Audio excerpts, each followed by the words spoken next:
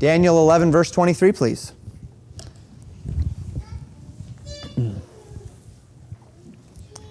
Recall where we are within our context. Uh, we are walking through the verses from Daniel 11:21 through verse 35 uh, that deal directly with who we would understand from history to be Antiochus IV Epiphanes. We see him rise to the scene around 175 BC. It would only be some 10 years later that his reign would come to a head as it relates to his dealings with the nation of Israel. He is a flatterer, uh, just as we would recognize the man of sin and the son of perdition to be. He is a man uh, who is um, able to get his way, uh, to deceive others, to uh, place himself in a, uh, a functionally good position by virtue of uh, his flatteries. And in doing so, we see a definitive change come over the nation of Israel as um, the certain within the contingency of Israel's people, of Israel's leaders, of Israel's priesthood, are seeking to Hellenize the, the, the country, right? Are seeking to make Israel become Greek. And in doing so, um, are looking to erode traditions, erode doctrines, and we also uh, find in that time that there's a shame that has come over the people of Israel as it relates to their Jewish distinctives. They start to hide their circumcision. Uh, they, um, they do not speak openly of the things of the Lord and of, of the, the law of Moses and these things. In uh, Daniel chapter 11, verse 23, we read this. After the league made with him, he shall work deceitfully, for he shall come up and shall become strong with a small people. We see this idea of a league, and in 170 BC, we, we find that Antiochus IV actually rescinds the league that was made by his father and Ptolemy through marriage with Cleopatra. Now remember, Antiochus did not have a right to the throne, but he was uh, within that general lineage. The ones that had the right to the throne um, um, were either assassinated or were arrested and in Rome at this time. And we find this idea of there being a league. Now, as soon as you see that, especially since we know where we're headed here as a transition to Antichrist, uh, you should begin to start to see a little bit of a trend. Um, that we have this league made and uh, we see Antiochus rescinding this league, this, this agreement that was made. And we might think immediately toward the rescinding of the covenant that's made between um, Daniel's people, Israel, and, and the prince uh, that shall come.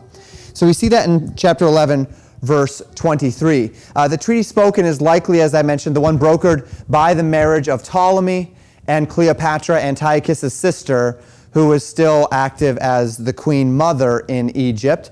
Uh, he circumvents his nephew, Ptolemy Philometor, by treachery and begins to move against the nation here. So um, he begins to move against the nation uh, of Egypt. And of course, as we see here, it says that he shall become strong with a small people. Uh, we might recognize that to be his influence in Israel. That they are a small people, and yet his influence is growing. We also then read in verses 24 through 27, there's going to be several instances, several historical instances here. We read this He shall enter peaceably even unto the fattest places of the province, and he shall do that which his fathers have not done, nor his fathers' fathers. He shall scatter among them a prey, a spoil, and riches, yea, and he shall forecast his devices against the strongholds even for a time. And he shall stir up his power and his courage against the king of the south with a great army. And the king of the south shall be stirred up to battle with a very great and mighty army. But he shall not stand, for they shall forecast devices against him. Yea, they that feed of the portion of his meat shall destroy him, and his army shall overflow, and many shall fall down slain. And both these kings' hearts shall be to do mischief, and they shall speak lies at one table, but it shall not prosper, for yet the end shall be at the time appointed. So we begin here. Um, Philometor realizes that Antiochus' treachery takes uh, he realizes his treachery and he takes a huge force to fight. So um, now Egypt recognizes that Antiochus has been flattering, um, that he's broken this treaty um, that was made between his father and um, uh, Egypt through Cleopatra and he gets together this very large force. He fails, however, due to treachery by his trusted counselors, uh, those who eat his meat. That's the idea here that those who eat his meat. Um, uh, um, um, where are we? Uh, verse 26 Yea, they that feed of the portion of his meat shall destroy him. So his own uh, counselors, his trusted counselors, uh, effectively turn against him, and he ends up being captured. And the kings, thus, in this captured state, uh, begin kind of a, a, game of mutual deceit. So they're sitting at the same table, and though the king has been captured, remember Antiochus is a flatterer, right? So he doesn't just have him destroyed or anything of the sort. That's not his style. His style is to find a back door, find a way to flatter the king, and to make it seem as though uh, there's a win win here or to get what he wants through flattery. So they, they sit down at a table and they begin to talk back and forth, and it's a game of mutual deceit. They're both lying to one another, uh, they're, they're pretending uh, how they're going to partner with one another and how this is going to work out just fine. Um, they're speaking kind to one another, but they're both lying. They're both just completely lying one to another. It's just a game of, of diplomatic back and forth. Neither one is actually successful um, at getting what they want. And uh, Antiochus would eventually fail to take Egypt, even though he was very successful in this particular battle. And so there's kind of a stalemate. Well, during this same time, in 170, the Jews heard a rumor that within this battle, Antiochus was killed. And on the basis of this rumor, they throw a monster celebration. Uh, they, they, are, they are rejoicing in the streets because Antiochus is dead, and they don't like Antiochus, though he was gaining influence in the land. And um, he didn't die. And so on the return journey, um, he's very angry at Jerusalem for this, and he takes time to spoil Jerusalem. On top of this, however, he, um, he kills many of the people as well. And then you see there on that last little bit, Antiochus ultimately fails to take Egypt. He returns home with great wealth, but wounded pride. So he, he has great wealth. He won the battle, but he didn't have the means by which to finish the job. He's coming back. He hears of all of these things happening in, uh, in, Jerusalem. He ends up uh, spoiling Jerusalem. He kills many of them at this time because he's angry at them for this thing. Um, and he, he goes home and the job is not done yet and he's very upset. So um, he takes Memphis, he installs this man, the man that he conquered, Philometor, as a vassal king. He becomes a joint ruler with his brother. He marries uh, their sister Cleopatra. Uh, Antiochus has a measure of control, but he was not able to take all of Egypt. The Jews hear this rumor um, and they celebrate. Um, and then Antiochus is, you know, very grumpy because of that. He's grumpy because his plans in Egypt fail. He's not a happy guy. We read about this in 1 Maccabees chapter 1, verses uh, 29 to 32. Now remember, as far as Maccabees is concerned, Maccabees are books written around that time. The Maccabee family we've not been introduced yet to yet, but they are, are going to become the freedom fighters and in some ways the very foundation of the Pharisees in the land. Um, and the Zealots as well, as we see the Zealots in the New Testament. And so the Maccabees are, are uh, uh, who they are, and they wrote these, these uh, nationalistic histories of the accounts of this time. So they say here in 1 Maccabees, after two years fully expired, the king sent his chief collector of tribute unto the cities of Judah, who came unto Jerusalem with a great multitude, and spake peaceable words unto them, but all was deceit. For when they had given him credence, he fell suddenly upon the city, and smote it very sore, and destroyed much people of Israel.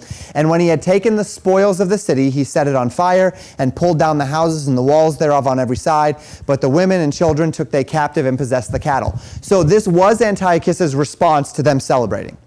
He, he came in deceitfully, he ended up um, destroying many of the people, taking the spoil, setting the city on fire, pulling down the houses, doing this great destruction, and they had no capacity to do anything about it.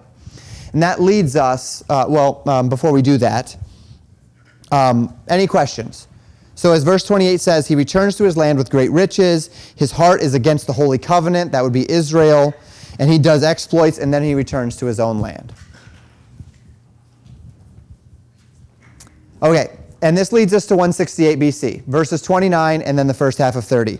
At the time appointed, he shall return and come toward the south, but it shall not be as the former or as the latter, for the ships of Chittim shall come against him. Therefore he shall be grieved and return and have indignation against the holy covenant.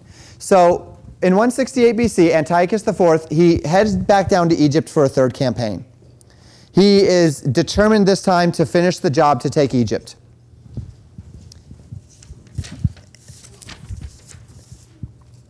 However, as he's on his way down, he meets a man, an emissary of Rome. This is a, a very uh, common, oft told uh, part of history. This is where the, the phrase to draw a line in the sand comes from. Uh, tradition, history, something in between, tells us that he met this emissary, Papilius Laenas, and on the way down, his, the emissary is there representing Rome, and Antiochus comes out to meet him, and the emissary draws a line. Some say a line, some say uh, a line and then a circle around the two of them. So he draws a circle around the two of them, and he draws a line in the sand. And he says, if you cross this line, heading south toward Egypt, if you cross this line, you've just declared war on Rome. Or you can turn back the other way you will give me an answer before you leave this circle. And that was effectively the ultimatum. You don't have a chance to think about this. You don't get to go back and, and talk to your counselors. When you leave this circle, you either leave it by crossing this line and declaring war on Rome, or you leave it by turning around and going home. Antiochus had absolutely no means by which to fight Rome and Egypt at this time. So uh, Antiochus, he returns. The ships of Chittim, or Shittim, uh, they're, they're Cyprians, and they inhabited the northeast Mediterranean, so we would regard that to be Rome. Rome had the northeast Mediterranean under their control at this time, so the ships that came from that direction, the Cyprians, Cyprus, um, this would be most likely Rome. History tells us that this happened, so we are putting those pieces together. Uh, they, uh, Roman, should be Rome there, expressly forbade Syria from attacking, with the consequence of refusal being war. And so Antiochus turns home very, very angry at this. And he decides to take this anger out on the Jews, whether that was just a, a convenient source or whether he thought, I need to. I need to establish my dominance in the Middle East a little bit stronger, in that land of Palestine a little stronger, because now I've got Rome over here and they're not letting me fight Egypt anymore. And Egypt, of course, can now strengthen themselves. Uh, we don't necessarily know. But that leads us to the 15th of the month of Kislu in 168 BC. This would be what we, what we would consider to be December 168 BC. And we read this uh, second half of verse 30. Therefore he shall be grieved and return and have indignation against the holy covenant. So shall he do. He shall even return and have intelligence with them that forsake the holy covenant. An arm shall stand on his part, and they shall pollute the sanctuary of strength, and shall take away the daily sacrifice, and they shall place the abomination that maketh desolate. And such as do wickedly against the covenant shall he corrupt by flatteries. But the people that do know their God shall be strong and do exploits. And they that understand among the people shall instruct many, Yet they shall fall by the sword, and by flame, by captivity, and by spoil many days. Now when they shall fall, they shall be holpen with a little help, but many shall cleave to them with flatteries, and some of them of understanding shall fall to try them, and to purge, and to make them white, even to the time of the end, because it is yet for a time appointed. So Antiochus, being very angry at this embarrassment, stops by Jerusalem on his way to Syria, and he orders his general, a man named Apollonius, Apollonius, to occupy Jerusalem and to stamp out every last trace of Judaism. This is where Antiochus made a huge mistake.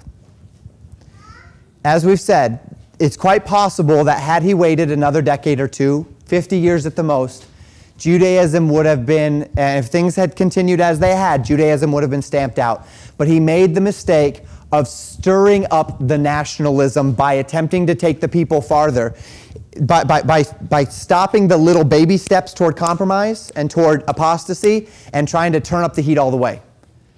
And immediately the people realized what was happening, right? And they said, no, this, this is not going to happen. We, we're, we're not going to have all of this stripped from us. So he demands that Israel becomes Greek. The temple function ceased entirely. He even went so far as to sacrifice pigs upon the altar. Now we know that pigs were unclean, right? Which means that by sacrificing a pig upon the altar, he has now desecrated the altar. It is no longer functional for its purpose. You can't just sacrifice, is to start up your sacrifices a day after a pig has been put on the altar. You have to completely ceremonially cleanse the entire temple now if, if you're to do any more sacrifices. So he, he, he, he, he basically blasphemes everything the Jews believe. Or everything they had characteristically, nationalistically, historically believed. He erects a statue of Zeus in the, in the Holy of Holies. Basically proclaiming this is now your God. That's what we would consider to be the abomination of desolation. That's what the Maccabees would call the abomination of desolation. And then uh, um, oh, excuse me, in, in, not, not in place of the Holy of Holies, in place of the brazen altar um, there. And this divides lines very sharply in Israel. See, there were many in Israel that were trying to get this, right? They wanted this. This, is, this was their goal. This is what they were hoping for. This is what they've been very slowly but surely working towards. These are like, you know, those people in politics who their goal is to bring the society to this, but they're going to do baby steps, right? to get you there because they're never, you're never going to be able to get Medicare for all in one vote, so you vote in Obamacare, right? And then when Obamacare fails, you vote in patchwork for Obamacare. And then when that fails, you vote in more patchwork. And then at the end of the day, you just say that none of this is working, just give us Medicare for all. And that's how you go from having one system to having another system. And of course, it started well before Obamacare, right? But that's the idea. The, the idea is that you do baby step, baby step, baby step, baby step, baby step. And with each baby step, a person says, well, I don't like that, but I, it's a little bit of compromise, fine, right? We'll just compromise a little bit. And then the Overton window changes, meaning what's acceptable in society, now it's shifted. And then, and then in a few years, they say, we got to compromise again. And then there's a shift, and there's shift, and a shift, and a shift, and a shift, and a shift. And next thing you know, you're all the way over here, and you got there through a lot of very small compromises of your principles over time, right? And that's, that's how these things work. So that's what they had been trying to do. That's what the priests had been trying to do. The, the, these Hellenistic priests, right, the priests that were friendly to, to Syria, had been trying to do. And, and when, when Antiochus comes in and he does this, he says, we're just changing. Everything's changing and I'm, I'm imposing this top down. And he had the ability to do that because he had the army. Israel has no army. He has the power. Israel has no power. They have no means by which to fight back against this per, per se. And so he erects the statue of Zeus. Uh, he sacrifices a pig on the, on the altar. And lines divide very sharply. Those who had already rejected Jehovah were carried away by these flatteries. They say, okay, it's time. It's time for this to happen. Uh, this isn't easy, but it's time. Uh, many others said no, and it, it caused a bounce back effect. It caused a violent reaction against this idea to where maybe before they'd been kind of on the fence, who knows, whatever, you know, there are these traditions and I kind of love them and, and they're in our, and this is our history and this is our God, but you know, mm, and now they're, they're saying, no, we're, we're in. We're in 100%. And uh, this is always what martyrdom does, right? It causes you to have to choose sides. You can't sit on the fence when somebody is threatening your life and you have to make a choice. You're either in or you're out, right? Uh, so this brings about, uh, well, we're not, we'll, we'll, we'll read from Maccabees first. So Antiochus proposes to Hellenize the Jews, and he purposes to do so once for all. We read about this in 1 Maccabees chapter 1, verses 41 to 64. It'll be a bit of a chunk here. Moreover, King Antiochus wrote to his whole kingdom that all should be one people. He's sick of this allowing for different people to have different ideas thing. And everyone should leave his laws. So all the heathen agreed according to the commandment of the king. Yea, many also of the Israelites consented to his religion, and sacrificed unto idols, and profaned the Sabbath. For the king had sent letters by messengers unto Jerusalem and the cities of Judah that they should follow the strange laws of the land and forbid burnt offerings and sacrifice and drink offerings in the temple, and that they should profane the Sabbaths and festival days, and pollute the sanctuary and the holy people, set up altars and groves and chapels of idols, and sacrifice swine's flesh and unclean beasts, that they should also leave their children uncircumcised and make their souls abominable with all manner of uncleanness and profanation to the end they might forget the law and change all the ordinances. And whosoever would not do according to the commandment of the king, he said he should die. In the selfsame manner wrote he to his whole kingdom and appointed overseers over all the people, commanding the cities of Judah to sacrifice city by city. Then many of the people were gathered unto them, to wit, every one that forsook the law and so they committed evils in the land and drove the Israelites into secret places, even with, wheresoever they could flee for succor or relief. Now, the 15th day of the month, Casleu or Kislu, in the 140 and fifth year, they set up the abomination of desolation upon the altar and builded idol altars throughout the cities of Judah on every side and burnt incense at the doors of their houses and in the streets and when they had rent in pieces the books of the law which they found. So literally they're tearing the law of Moses, right? They're tearing them up, they're throwing them in the fire, they're, they're, they're apostatizing entirely. They burnt them with fire, and whosoever was found with any book of the Testament or any committed to the law, the king's commandment was that they should put him to death. Thus did they by their authority unto the Israelites every month, to as many as were found in the cities. Now, the five and twenty 20th day of the month, they did sacrifice upon the altar, which was upon the altar of God, at which time, according to the commandment, they put to death certain women that had caused their children to be circumcised, and they hanged the infants about their necks, and rifled their houses, and slew them that had circumcised them. Howbeit many in Israel were fully resolved and confirmed in themselves not to eat any unclean thing, wherefore the rather to die, that they might not be defiled with meats and that they might not profane the holy covenant. So then they died. And there was very great wrath upon Israel. So this is uh, the general historical account in the Maccabees about what, what happened here. So mothers are being killed because they are choosing to circumcise their children. The children are, are being killed. Um, the, the people, anyone who, who tries to observe the Sabbath, anyone who follows the laws of God, who is even found having the law of God in their possession, would be killed. Um, it was a, a, time of tremendous suffering for the people of Israel. It was a time of, of tremendous difficulty, and yet through it grew a national fervor and a determination that they were not going to let this happen. And we know that this would be of the Lord um, to preserve His word and to preserve His people. This was an attempt, as we've seen throughout history and any number of times, by Satan to bring about the end of God's people. And um, by, in one sense, God's grace, Antiochus did not have the patience to see through the slow, steady compromise over time. And so instead, tried to drop the hammer, and in doing so, um, brought about national fervor. And now there's dividing lines, and now people know who the enemy is. They've come out. And now people know what's going on. Thoughts on this? Sarah.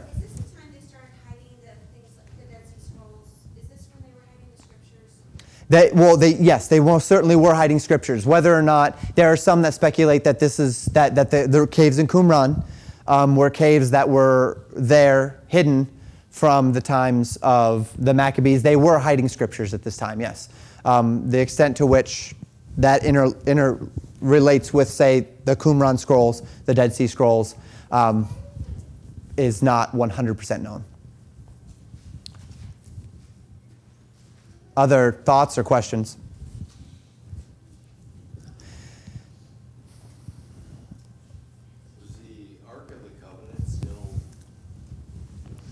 The last mention of the Ark of the Covenant that we have is well before this point. Um, um, I'm trying to remember exactly when it was. I preached on that when we were in Jeremiah. Um, I'm trying to remember when the exact last mention of the ark is. What we did mention is that there are many people that speculate that the ark was hidden before Babylon came in. And the reason why is because in Jeremiah, in the last pages of Jeremiah, Jeremiah is fairly thorough in his explanation of what happened to the temple. He talks about all of the, the cups and the platters being taken away and the, the pillars being taken down and, the, and the, the brass and the gold being taken off of them. And yet he doesn't mention the Ark of the Covenant. And that makes a lot of people really curious. And that's where Jeremiah's grotto theories come in and the fact that he hit it, that Jeremiah hit it, and some believe that he went down to where Elijah, that he took it down to where Eli- the cave that Elijah um, ran to and the cave that Moses was in when he asked the Lord to show him his glory, and that's the same one that Elijah went to after Mount Carmel. And some believe that he hid it there. Um, some believe that he hid it in Jerusalem. And um, there's a uh, within our circles, again, um, there's a there's an archaeologist, um, uh, an amateur archaeologist named Ron Wyatt, and Ron Wyatt has done a lot of good work as it relates to the Exodus. And then he started doing other work as it relates to Noah's Ark and the Ark of the Covenant. And before he died, he gave testimony that he actually got to see the Ark of the Covenant, that he crawled into a cave that was underneath Jerusalem, and, and that there he met an angel and uh, that was guarding it, and he took video of the whole thing. And then um, he decided not to share that video. Uh, and um, lots of kind of, it gets a little bit weird and kooky and, and whatnot um, and such. And, and, yet he and his followers still, you know, pretty strongly believe that the ark is there. Um, this goes right in, in line with a, a, theory that's floating around now in the mystic elements of, you know, the, of Christianity, the ones that kind of like, like the mystic part, um, that the Ark of the Covenant was, is underground and it was below Mount Calvary so that when Jesus bled and, and when the, the earth shook, it actually created a fissure in the ground through which the blood went and poured onto the mercy seat of the Ark of the Covenant. Uh, and they're looking, you know, and, and, yet none of this, I mean, none of it's biblical, right? None of it is provable. Um, none of it has been revealed to us, and none of it is necessary. I, true, false, I, am you know, whatever. I don't know. Um, but none of it, and, and, and, none of it has any, any basis in Scripture. Um, Jesus' blood did not have to sprinkle the mercy seat of the physical Ark of the Covenant. We do know that the Ark, in one way, shape, or form, is seen in the heavenly temple. In, uh, uh, in, in, uh, in, the, in Revelation, we see this idea of it being there. So, whatever that means, whether that's symbolic, whether that's um, whether it's, it's, it's, it's some physical thing or whether uh, you know, Jesus obviously was the fulfillment of the ark, right? Jesus is the fulfillment of the ark. So, uh, whether it's symbolic, speaking toward the idea of Christ in the temple, or whether it's something physical, that's a lot of things that we'll know one day and we don't, we don't quite know yet. But there's a lot of speculation out there as to these things. Um, um, yeah, so I, uh, on, on that, I, I do like Ron Wyatt's scholarship on the Exodus, if you've ever looked up anything and you've come across his name. Um, I'm comfortable with his scholarship on the Ark, or not the, not, not the Ark of the Covenant, but, the, but Noah's Ark. I, uh, I'm completely baffled at his testimony as it relates to the Ark of the Covenant. Um, it, with each one, it gets more mystical. So with, with, the, with the Exodus stuff, like he actually followed, he, he actually did like archaeology and research and whatnot. And then with the Ark, Noah's Ark, they traveled in a taxi until the Lord told them to stop, and then they went out and they found it, um, which you know gets a little more mystical and a little less factual. And then with the Ark of the Covenant, it just you know kind of goes off the rails, and everything is deeply spiritual and no, not provable in any way, shape, or form, except for that tape that he said he has, but he never showed anyone. So um, because he felt as though it wasn't the right time to reveal it. So anyway, all of that to say that, that uh, I agree with him on the stuff that he proves. I'm very skeptical of the stuff that he just throws out there and wants us to believe. Uh, other, other final thoughts or questions? So at this time, no, the ark was not here at this time for sure. Um, at this point, they they had uh, not seen the ark for quite a while, we would presume. Okay. Um, so this begins what we would call the Maccabean revolt. And I read you verses 31 through 35, and we do see that here. So, um, uh, verse 32, and such as do wickedly against the covenant shall he corrupt by flatteries. So there are people that Antiochus corrupts, those that don't have any interest in the things of the Lord, in the things uh, uh of God. And then the people that know their God shall be strong and do exploits, right? So that, now we're talking about there's a contention here. And that's what we often call um, the Maccabean re- revolt. It's led by a man named Mattathias Maccabeus, or the Maccabeans, right? And his five sons. They would, over the course of many years, drive Syria from the land of Israel. And eventually, they would purify the temple. And they would do so on the 25th of Casleu, almost three years to the day after it was defiled. So it was defiled on the 15th of Casleu. On the 25th of Casleu, three years later, 165 BC, um, they would purify the temple and it would reinitiate, they would reinitiate the system, the sacrificial system. And um, this is the feast, and then from this was initiated a feast and a celebration called Hanukkah. And Hanukkah is a commemoration or the Feast of Lights or the Feast of the Dedication. This was a time when, and the menorah uh, was intended to signify that when they sought to rededicate the temple, they only had a very little bit of oil left. And so they put the oil in the lampstand, and that oil did not go out for the number of days of the purification and the dedication of the feast. And so they are commemorating this divine intervention whereby God allowed the oil in the menorah to continue uh, supernaturally throughout the course of the purification and the, de- and, and the, the, dedication process and um, bring them to the end of that feast, though they did not have enough oil to actually do it. They, by faith, stepped out and did it. And that's the tradition surrounding Hanukkah and this feast uh, to commemorate when the temple was re established. To that end, of any feast, now, the Feast of Purim, which commemorates the days of Esther, also called the Feast of Lots, and then this feast, Hanukkah, also called the Feast of the Dedication, or the Feast of Festival of Lights, or the Feast of Lights, those are not prescribed in the, in the Old Testament, right? Ironically, those are the two that we probably know about the most in Jewish, as far as Jewish holidays, and they're the least important to the Jews. The most important day is the Day of Atonement still. Passover is really, really important to them. Uh, uh, Pentecost is important, Tabernacles, because those are the ones that are in the Old Testament. But they do regard these. Hanukkah is a nationalistic feast. Hanukkah is, is, is, is a feast that celebrates Israel overthrowing their oppressors. Hanukkah is a feast that lives in the minds of, of the Jews saying, one day we will be free. One day we will have a king and he will put down all the nations that hate us. So Hanukkah is, though not the most important feast, it is perhaps the most nationalistic time of the year for the Jews. It's a time where their mind is on the overthrow of their oppressors, because that's what Hanukkah represents. It represents the day that they overcame Syria. And, and, and we'll, we'll get into the nitty gritty of this a little bit more with the Maccabees, but make no mistake, this was an entire army against guerrilla warfare freedom fighters in Israel that were simply convinced that God was on their side. And they were able to drive back that entire army. And so it really is a very significant thing. And the Bible tells us it would happen. That, that the, the people of God, that they would know their God, that they would do exploits. And, um,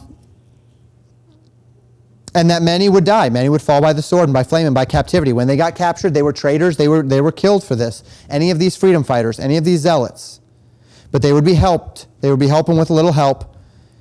And this would be, as verse 35 says, to purify them. And then we see in 164 BC, just a year after Syria is pushed back out of Israel, Antiochus IV dies. So, um, to, to summarize here, the Samaritans, seeing this desolation, denied all association with the Jews, and they disassociated their temple worship with Jehovah. So, at this point, we have the Samaritans, having seen all of this that happened, completely disassociate. The Samaritans were under the thumb of Syria too, and they went hook, line, and sinker. They said, okay, Antiochus, you win you know, they, they gave in. They were not a part of the resistance. They were not a part of the freedom fighters. They were not a part of the zealots. They disassociated their temple worship with Jehovah. And Antiochus commands them to adopt Greek customs. They did so. They were left in peace.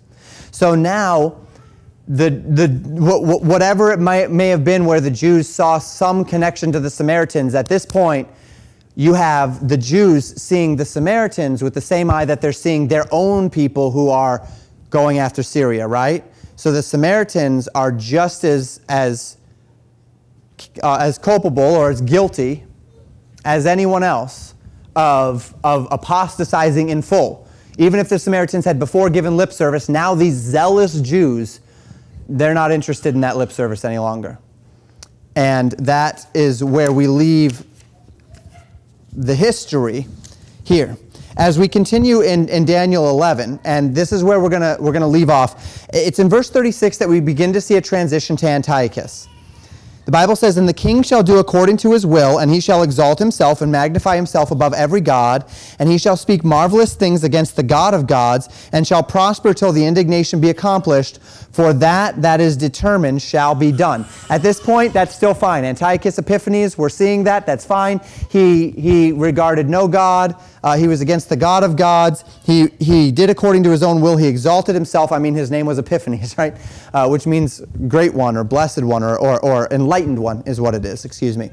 Um, and then verse 37 Neither shall he regard the God of his fathers, nor the desire of women, nor regard any God, for he shall magnify himself above all. And this is not quite as clearly Antiochus Epiphanes at this point. He did regard other gods. He did regard the God of his fathers. He did regard Zeus.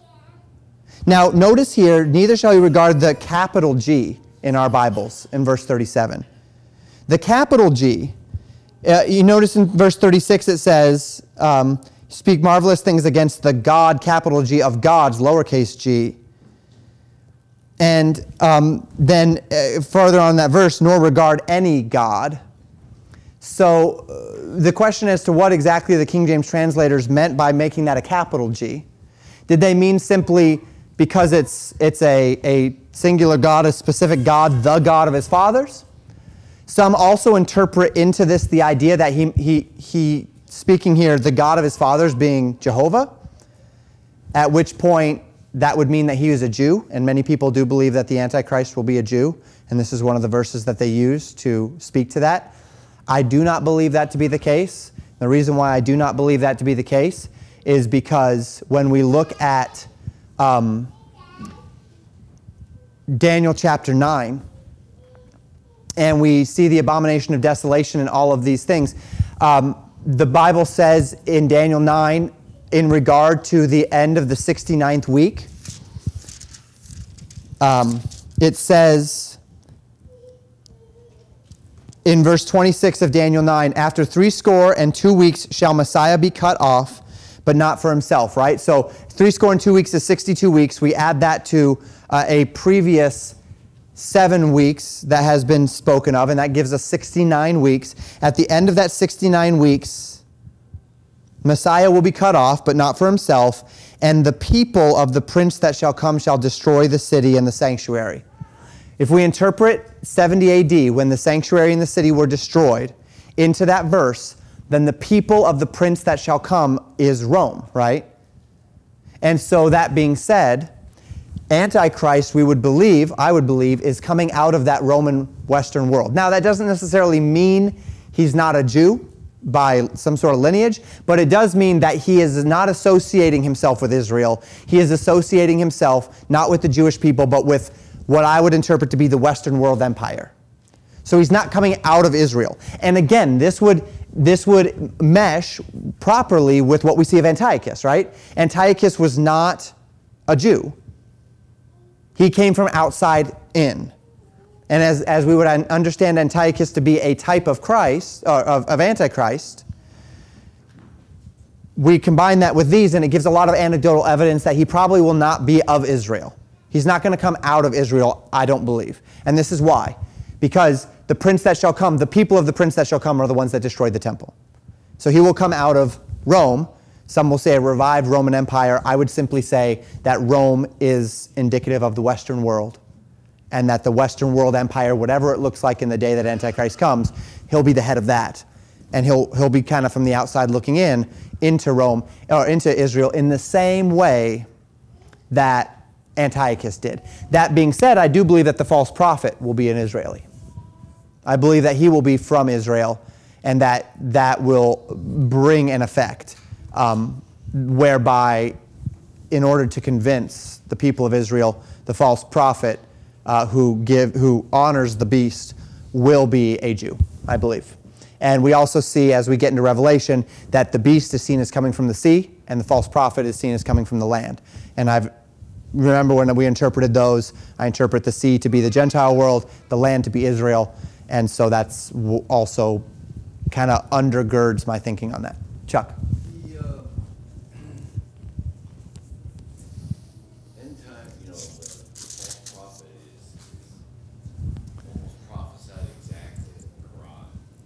Yes. As their 12th Imam. Yes. Well, the, I'd say more Antichrist than the false prophet. I think it's actually Antichrist himself that's. Well, they actually have the false prophet coming along in there as well. I mean, it's determined false prophet comes along out of there, and that's going to be their their savior uh, before their uh, Antichrist. I, I uh, fr- from my studies, the way I've understood the the, the Quran and the book that I've resourced on that, um,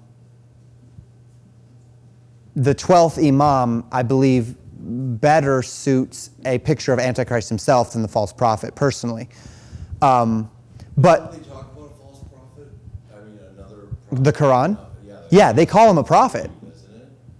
I'm sorry? Isn't talking about three different events that are going to take place before the 12th Imam comes? Mhm. There's going to be the 12th Imam, there's going to be,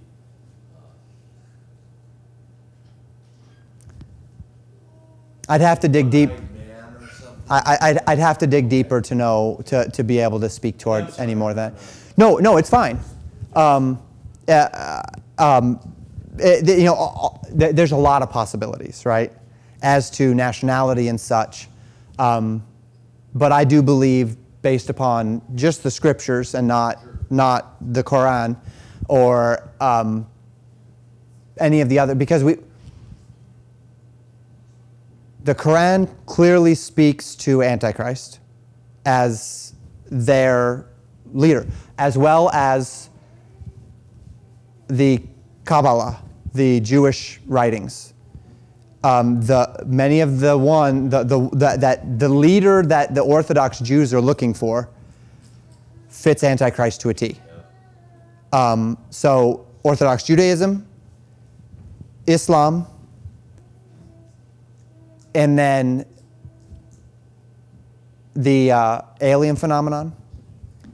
Many of the people who have been abducted by aliens and aliens, so called, and have uh, been, been uh, and, and I would believe them to be a spiritual demonic interaction. It's not aliens, it's a demonic abuse, it's a, it's, it's a demonic interaction.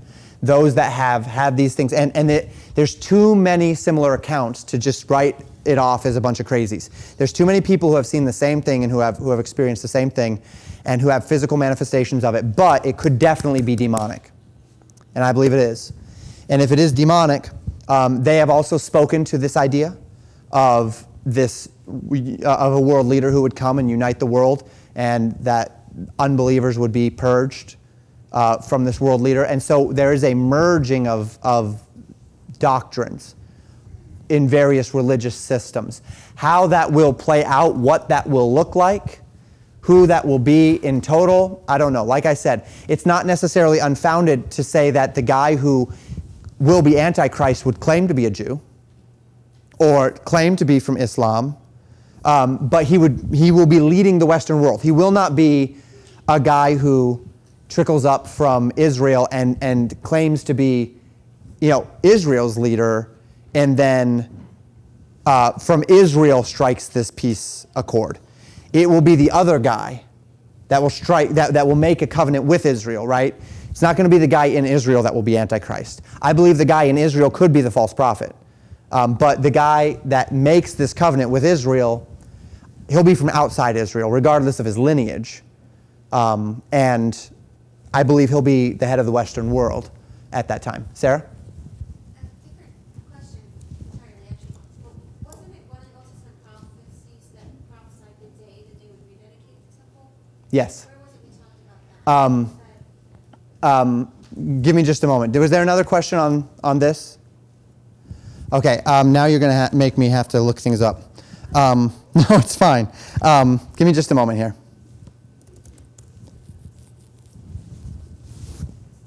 Oh no, I'll have to do it on my phone. I don't. I was fiddling with my computer the other day. Never fiddle with the computer you use at church. Let it live on forever as it is. Um, which is impossible for me if anyone knows me. I can't do that. Um, cannot help but fiddle. Um, let me see, 20. Just see if I can find this real quick. Um,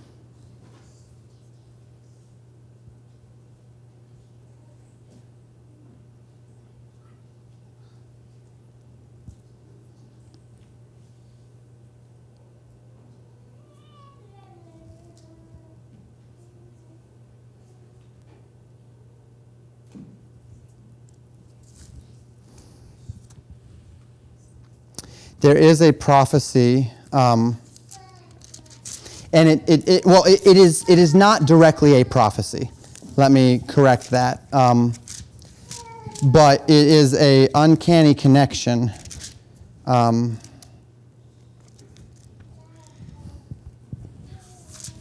and I wish. I, I think I might even have my notes on this in a different Bible, but let me double check here. John 10.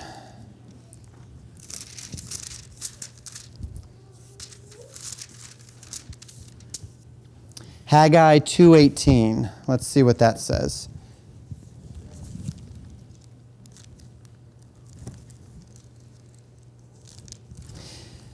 So in Haggai 2:18, um, consider now from this day and upward, from the four and twentieth day of the ninth month, even from the day that the foundation of the Lord's temple was laid, consider it.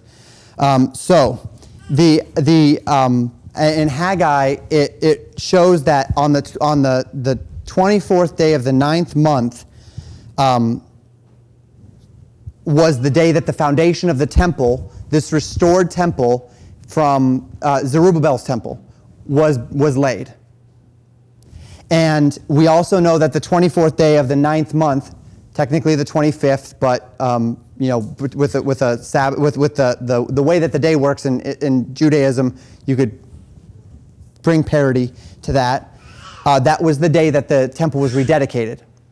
Many Orthodox, uh, not Orthodox, many completed Jews, combining this with Scripture, believe that um, the 24th day of the ninth month will be the day that the millennial kingdom begins. And there is a, uh, and, and it's because of this idea. The question is is this prophecy or is this just history? Is it just that on the 24th day of the ninth month, the foundation of the Lord temple was laid? Is that just that temple? Or is it that this will also um, be a prophecy? Because then he goes on to say, Is the seed yet in the barn? Yea, as yet the vine and the fig tree and the pomegranate and the olive tree hath not brought forth, from this day will I bless you. And so we see this idea. And again, the word of the Lord came unto Haggai in the four and twentieth day of the month. This would be that ninth month. This would be Casleu, saying, Speak to Zerubbabel, governor of Judah, saying, I will shake the heavens and the earth, and I will overthrow the thrones of kingdoms, and I will destroy the strength of kingdoms of the heathen, and I will overthrow the chariots and those that ride in them, and the horses and their riders shall come down. And so there's others that, based upon this, believe that the temple that is rebuilt, the next temple, will, will be dedicated on that day, and that that is going to usher in the destroying of the, of the, the kingdoms of the heathen, right? Um, because of this Haggai prophecy. So it's an interesting one, and I actually received this connection from a completed Jew, a man who was doing this teaching and made this connection. I thought that's fascinating. Um, and it also goes toward that concept in John 10. Why is it that in John 10, the Bible says in John 10 22, it was at Jerusalem the feast of the dedication, and it was winter. The feast of the dedication is Hanukkah and Jesus walked in the temple in Solomon's porch. So Jesus is on Hanukkah walking on, the, in, on Solomon's porch in the temple. And the Bible says, Then came the Jews round about him and said unto him, How long dost thou make us to doubt? If thou be the Christ, tell us plainly. Here they are in this feast that is all about national overthrow of their enemies. Jesus has claimed to be Messiah he's walking through the temple and the Feast of the Dedication, and they're saying, Look, temple's right there. Go sit, go sit in it. If this is you, just tell us plainly. Go sit right there. That's what Messiah is supposed to do, right? It's Hanukkah. It's the well, maybe it was even the 24th of Kislev. Go sit. Go sit in that temple. Haggai 218. And that's when he replies that his works bear witness and his sheep hear his voice and such. And uh, then they take up stones to stone him. Uh, but uh, uh very much so. Uh, elements of prophecy here. That there's a lot of very unique things um, as it relates to history. I forget which day it is. Is it a day? Um, it's a very important day for the Jews where uh, um, there's several devastating things that happened in history. since September, I think, or something, of September. And it's right around their feast. And several of the most tragic days in their history all land on that exact day. Um, and it's a, it's a very important day in Judaism from that perspective. But um, we see these things and, and we see this kind of repetition of history, and there's, there's no uh, um, reason to believe that that day, the 24th day of Casleu the day that the foundation of the first temple was laid, the day that it was rededicated effectively in the days of the Maccabees, and there may, and many do believe that there is still some sort of future anticipation for that day. Yeah, because of Haggai 2.18. Okay. Um, next week, when we come together, we will be leaving Daniel 11 and we'll be digging uh, directly into history. And we'll be uh, uh, showing how, from this point, Syria has been driven out of Israel, uh, how we get to the system that the New Testament shows us with Rome, with Pharisees, with Sadducees, and the like. Um, but I hope that throughout this you got to see something very particular and special. Number one, that the intertestamental period is spoken to in the Bible. Um, and that is spoken to very clearly, very distinctly, and very accurately in the Bible. Um, that God, all of this was anticipated, and it's all meant to point us to that man Antiochus Epiphanes, who is the forerunner of Antichrist. And as we look for the spirit of that Antichrist to return in its fullness, um, we might look toward the elements surrounding Antiochus and the nature of Israel at the time and that falling away. As a matter of fact, um, in 1 Timothy 3, when it says that, that or not, not 1 Timothy 3, in Thessalonians, where it says that, that the Antichrist will not be revealed except there first be a falling away. That word falling away is a word to mean apostasy. And it's the same word that the Maccabees used to speak of those that followed Antiochus. And so many believe, uh, based on that, and I think it's a very, very solid foundation, that that falling away doesn't necessarily have to do particularly with the church proper, but rather that we are going to see a time where there is going to be a, uh, like in the day of Antiochus, a falling away of Judaistic thought. So they'll uh, uh, uh, and there will be a group of Jews. Now, nat- naturally, they'll have their temple and whatnot, so there will be fervor there, but there will also be a group, a, a falling away of a group of, of, of Israel toward Antichrist, toward his philosophy, toward this one world ecumenicism type idea. And um, that there will be this great falling away as it relates to Israel, and, and there's a real possibility that that could be the case. Um, and we might even see how that, that could be set up within the idea of Judaism as it exists today with the Orthodox and then the non practicing. Thank you for listening to Pastor Jamen Wikler from Legacy Baptist Church in Buffalo, Minnesota. More information about Legacy Baptist Church and a library of sermons are available at www.legacybaptistchurch.net.